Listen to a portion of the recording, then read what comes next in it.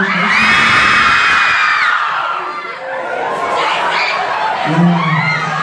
음, 우리 친구를 생각해주셔서 정말 감사하고요.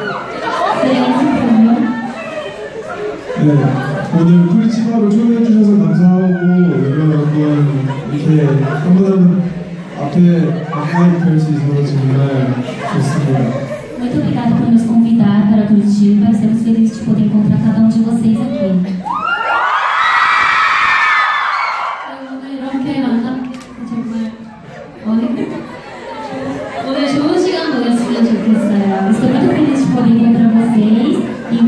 tendo um ótimo momento com vocês hoje.